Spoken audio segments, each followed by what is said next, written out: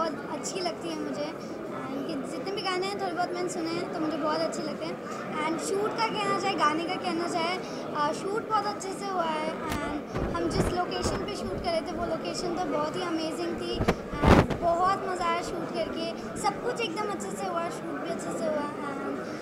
सब हर चीज़ था बहुत अच्छे से हुआ तो बहुत मज़ा आया। एंड अभी अभी रिलीज़ हुआ तो अच्छे अच्छे वाइब्स आ रहे हैं कि हाँ अच्छा होगा। तो इन अच्छा होगा जैसे इन तो अभी सिक्सटी के हो गया है हमारा तो ऐसे ही आगे जाए और ऐसी कामयाबी हो। आ, अभी तो मुझे मैंने गाना सुना एंड सबने सुना तो सब लोग कह रहे थे कि हाँ बहुत अच्छा है सब बहुत अच्छे अच्छे कह रहे थे। तो मेरा जो कैरेक्टर है इसमें वो मतलब मैं बहुत चिलबुली टाइप की बबली हूँ।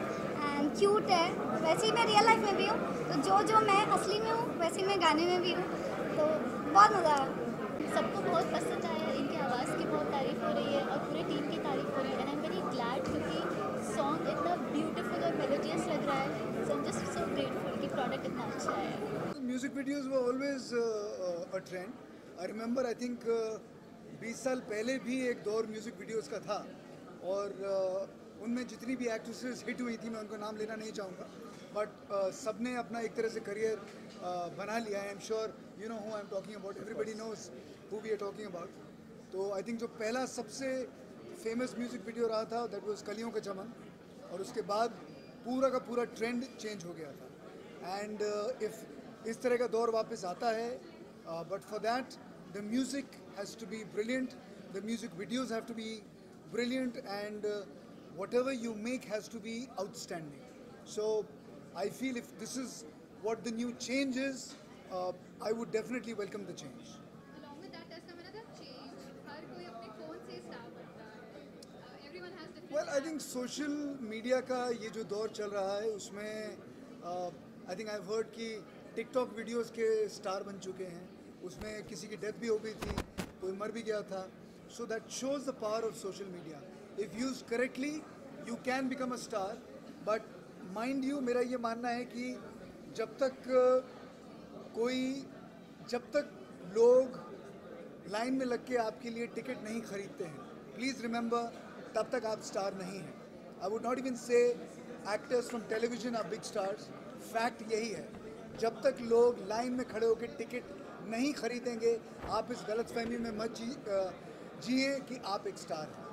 For some time social media आपको स्टार बना देगा बट नॉट अदरवाइज़ ये गाना काफ़ी मतलब रोमांटिक और स्टार्टिंग में क्या होता है कि सैड स्टोरी सैड दिखाया गया मूवमेंट एक बंदा होता है जो बहुत ही सैड होता है। उसके बाद उसकी लाइफ में एक बंदी जो सेकंड कैरेक्टर दिखाया गया है, वो बहुत ही प्यारा कैरेक्टर है, जिसके आने से उसकी लाइफ में एकदम खुशियाँ हो जाती हैं, वो बंदा अपनी जीने लगता है, बहुत ही प्यारा है मतलब। उसके बाद जो स्टोरी है, उसके बाद उसकी जो बंदे का कैरेक्टर है, वो एकदम खुश हो जाता है, जो सेकेंड गर्ल के आने से। बहुत ही गाने का मूड एकदम रोमांटिक है बहुत ही प्यारा। गाने का स्टार्टिंग में तो मतलब बंदा बहुत सैड रहता है। उसके बाद जो लास्ट में उसकी लाइफ होती है एकदम रोमांटिक और खुशियों से एकदम वो एकदम खुश हो जाता है अपनी लाइफ में।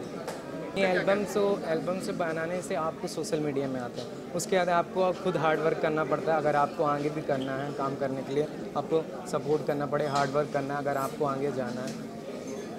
अगर आपको आगे भी बॉलीवुड में अच्छे कास्ट के लिए करना है तो एज एन आप ऐसे एक सॉन्ग से नहीं आपको और हार्ड वर्क करना पड़ेगा आपको लाइफ में आगे बढ़ने के लिए। पहले क्या क्या प्रोजेक्ट कर चुके हैं आप? नहीं ये दिस इज़ माई बिगनिंग मैं स्टार्टअप कर रहा हूँ इसी सॉन्ग से। ये गाना बहुत ही प्यारा है तो सबका प्यार ज़रूर मिलेगा लोग खूब सारा प्यार देंगे इस गाने मैं हूँ यासर देसाई और मैंने ये गाना गाया हुआ है Darmiyaan. Very romantic mood it's not your typical song सबसे पहला तो बड़ी बात गाने की ये है कि फॉर अ यूट्यूब रिलीज़ ये गाना बहुत कन्वेंशनल यूट्यूब गाना नहीं है। बहुत अच्छी तरीके से कंपोज किया हुआ गाना है और लिखा भी बहुत अच्छा गया 90 का दशक वापस नहीं आया है जस्ट टू क्लैरिफाई बिकॉज़ जिस तरीके का म्यूज़िक बन रहा है, वो 90s वाला नहीं है। मे बी लोग अपने अपने because YouTube is a very strong medium बहुत अच्छा और आसान मीडियम इसीलिए लोग अपने अपने वीडियोज़ बना के पोस्ट करते हैं। बट नाइन्टीज़ का दशक वापस नहीं आया है और ना आएगा मेरे को लगता है। निगाह तुझ पे खामोश कर लबों से तुझे पीने लगा। निगाह तुझ पर खामोश कर लबों से तुझे पीने लगा। इस म्यूज़िक वीडियो की कास्टिंग मैंने की है किस तरह की कास्ट की आपने और बात करें एल्बम के बारे में क्या आ, पहले मेरे पास स्टोरी आई थी कि भाई इस तरीके की कास्ट है। अभी ये हमारा हीरो है। तो उन्होंने मुझे दिखाया कि भाई ये हमारा लड़का है। इस टाइप की मतलब कुछ कास्टिंग चाहिए। और उसके बाद फिर काफ़ी चीज़ें हुई। कुछ लोगों को हमने बुलाया।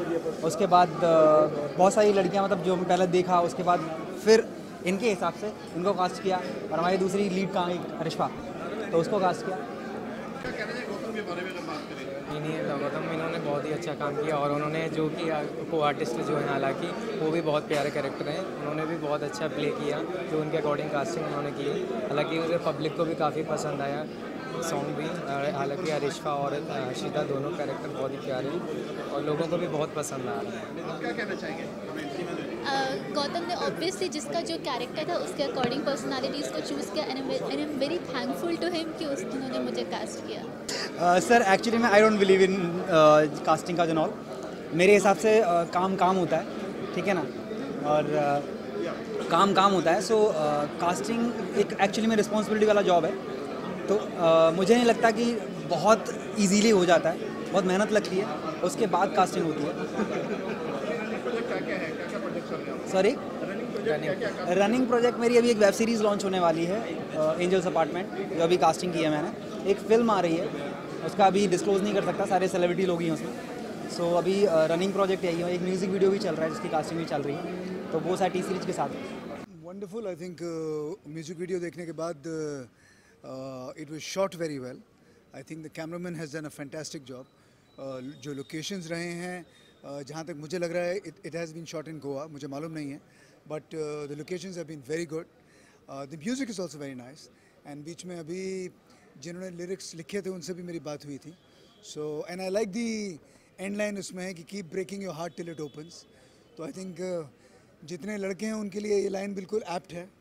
और uh, अपना दिल तोड़ते रहिएगा जब तक वो पूरी तरह से खुल नहीं जाता है. So congratulation to the whole team best of luck and I am sure it's going to do very well well I think दो नहीं तीन लोग मैंने देखे थे जिसमें दो लड़कियाँ थी और एक लड़का था। So I think all of them look very well look good I think they good looking people and they are young amazing expressions and I'm sure कि if given the right kind of opportunity and chance, they will ex- do extremely well